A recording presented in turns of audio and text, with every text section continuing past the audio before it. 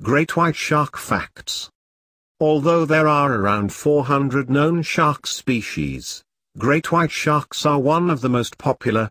Part of their popularity lays in horror movies that show great white as monster fish which target and kill humans as their regular food. These movies are far from the true. They are the largest predatory species, one that hunts other animals, in the ocean and one of the most successful hunters in the whole world, but they don't eat people. These sharks can be found in deep water and near the coast of all continents except Antarctica. Interesting great white shark facts. Females are larger than males. Dorsal side, their backs, of the shark's body is dark in color, black, gray, brownish, and their bellies are completely white.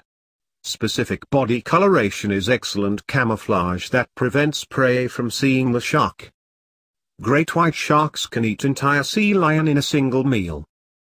Great white sharks don't have eyelids, but they can roll their eyeballs during attack to prevent eye injury.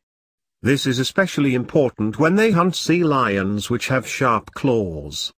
In the last moment of the attack, sharks are practically blind. Other than that, they have excellent eyesight. Great whites don't produce sounds. They communicate using body language and scents. Great white sharks have excellent sense of smell. They can smell one drop of blood in a million drops of water. Most sharks become motionless when they are flipped over. This phenomenon is called tonic immobility and great whites may experience it also. Orcas use this technique to defeat great white shark, they keep the shark flipped over until it stops breathing. Great whites have electroreceptors which detect electric field of all animals in the water. They use these receptors to locate a prey. Great white sharks may attack people, but they will not eat them. Attack happens because sharks mix people with seals or other prey that they normally eat. Since people don't have as much fat as shark needs, they will not be eaten. More people die in a toaster-related accidents than after a shark attack. These sharks grow slowly. Males reach maturity at the age of 10, and females at age of 15.